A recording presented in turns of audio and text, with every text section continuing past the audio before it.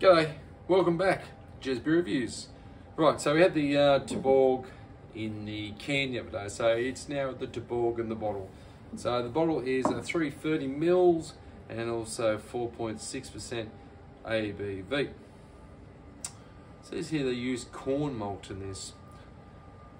Uh, must be their adjunct. Um, yeah, it's got a um, pull top there. Remember a couple of years ago, remember when uh, Carlton Dry done this? Which is the stupidest idea ever. Oh, it's easier. It's never easier. Obviously they do this, but now let's crack it. But yeah, that's just painful. It is painful. You want your ginger beer and you're getting her off. Compared to like a twist top, done. Even a, a crown seal, just off she goes.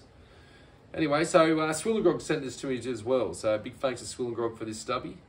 As I said in that video, SwillinGrog um, has drank a lot of this beer over time. More than the cans, I'm pretty sure. Pretty sure I use this glass every day. Um, this glass is like a headmaster. It does have the uh, will. It's got the edging on the inside the glass there, which um, keeps the head flowing, and yeah, so it's very similar to a headmaster. Um, you got one finger, very white head, and that same appearance, nearly on straw, pretty clear um, straw. Yeah, straight up I can smell skunk. Yeah, it's definitely, uh, compared to the can, I've got a skunk aroma. Uh, being the old classic, green bottles um, for around the light, light um, is not good for the beer. That's why brown bottles work better in cans. So uh, yeah, it's got a skunky aroma. Maybe a little bit of grassness, but I'm getting all that typical green beer skunk. Anyway, let's get into it. Cheers is all. Oh yeah, and cheers to SwillinGrog as well.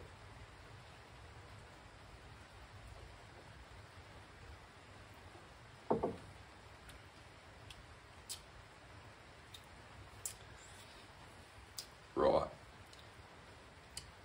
I think there may be a, a, carbonation difference between the two. I think the carbonation level is immediately better than the can. Finish is somewhat dry, but I don't think it's quite as, as I say, or a lot of people say, as snappy at the back.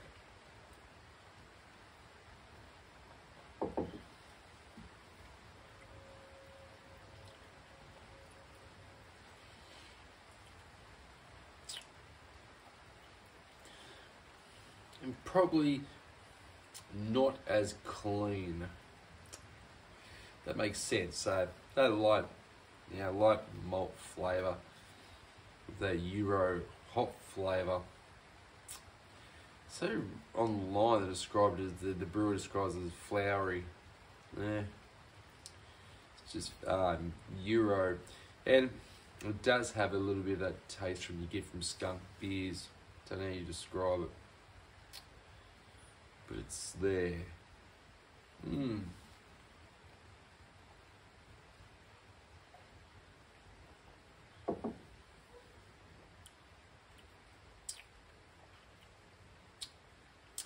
Yeah, the carbonation is one thing I've noticed straight up. The can is such allows for such more snappy, clean, crisp finish, where the bottle is just lacking a bit. I don't know. Maybe it's these um, maybe it's these caps. Maybe they don't seal as good too. That's, you know, something like that. Where like a crown top and all that's just like, they're pretty good. Green ball and Skunk, it hasn't been protected from the light in its journey to Australia. So the can is definitely a winner. So, okay, so for, for the, um, for a score, I'd say this is satisfactory. I'm pretty sure the can they said it was good. So this is satisfactory. But if you had to pick the two, you'd go the can all day. The can is far so much better than the bottle. It doesn't look that much me ratings, but um, the, the, can is is good. Um, a lot more enjoyment. But um, how's that for you? Eh? Two products.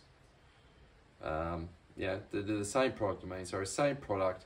Uh, one's in a can, one's in the traditional green bottle, and the can's just knocked out of the park. So uh, that would be another probably interesting one to try with a lot of the um, some of the domestics. It'd have to be done blind. It's yeah, I do a lot of blind stuff, but if you know what it is, you can sometimes side one way.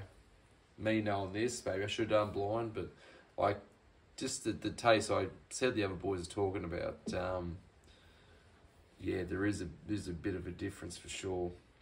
Very drinkable still, but um, sessionable. But yeah, I'd go the can and the cans. Yeah, it's a go-to option. So yeah, satisfactory for the Tuborg and green in the bottle. Big thanks to SwillinGrog, and once again, thanks for watching this uh, another episode of Gez Beer Reviews, and we'll be back with more beers, IPAs, with some strong beers coming your way very soon. So you guys will take care. See you in the next one.